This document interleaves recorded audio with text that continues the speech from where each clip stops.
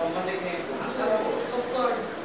আবাহনীর দেয়া তিনশো তেতাল্লিশ রানের টার্গেটে প্রাইম ব্যাংকের তিন উইকেট যাওয়ার পর মাঠে এসেছেন মুশফিকুর রহিম। স্ট্রাইক প্রান্তে যখন পারভেজ হোসেন ইমন, তখন অপর প্রান্তে দাঁড়িয়ে মুশফিক। এরপর ইমন যখন আউট হয়ে ফিরলেন, তখনও নন স্ট্রাইক প্রান্তে ঠাঁই দাঁড়িয়ে মুশফিক। এমনকি যখন ব্যাংকের শেষ উইকেটটা পড়ল, তখনও নন স্ট্রাইক প্রান্তে ব্যাটারটার নাম মুশফিকুর রহিম। অর্থাৎ সোমবার প্রায় পুরোটা সময় উইকেটে কাটিয়েছেন মুশি, দেখেছেন দলের হার, কিন্তু মাঝের সময়টায় জানান দিয়েছেন কেন তিনি দেশ সেরা, কেন তার নাম মিস্টার ডিপেন্ডেবল।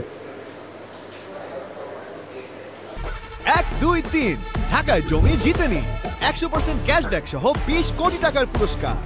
তিনশো তেতাল্লিশ রানের টার্গেটে প্রাইম ব্যাংকের দরকার ছিল একটা বড় পার্টনারশিপ চতুর্থ উইকেট জুটিতে পারভেজ হোসেন ইমনের সাথে সেটাই করার প্রচেষ্টায় ছিলেন মুশফিক। দুজনে মিলে তিরাশি রানের একটা জুটি করেছিলেন কিন্তু এরপর ফিরতে হয় ইমনকে। মুশফিক অবশ্য তখনও খেলছেন, নিজের স্বপ্ন দেখছেন ম্যাচটা জেতানোর। আর স্বপ্ন পূরণে দরকার জুটি।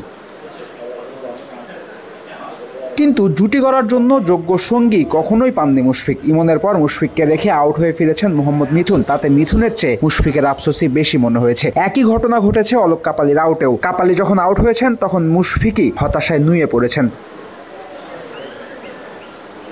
মুশফিক স্রোতের বিপরীতেই চালিয়েছেন নৌকা। এই শটটার মাধ্যমে এবারে ডিপিএল প্রথম ম্যাচ খেলতে নেমেই করেছেন সেঞ্চুরি। কিন্তু এরপরও হতাশায় লাথি মেরেছেন মাঠে। সেলিব্রেশন দেখে বোঝার নাই কোনো উপায় হয়েছে তার সেঞ্চুরি। নিশ্চিতভাবেই বলা যেতে পারে, সেঞ্চুরি না হয়ে মুশফিক যদি ম্যাচটা জিততেন, তবেই বেশি খুশি হতেন। শ্রীলঙ্কার বিপক্ষে ওয়ানডে সিরিজেই ইঞ্জুরিতে পড়েছিলেন মুশফিক। টেস্ট সিরিজটা খেলতে পারেননি টাইগারদের সেরা ব্যাটার। প্রশ্ন আসতেই পারে, ইঞ্জুরিতে ছিলেন ঈদের ছুটি গেছে। এরপরও কি করে মুশফিক এত ভালো শেপে? অন্য কেউ যখন পারছেন না, তখন মুশফিক কীভাবে পারেন?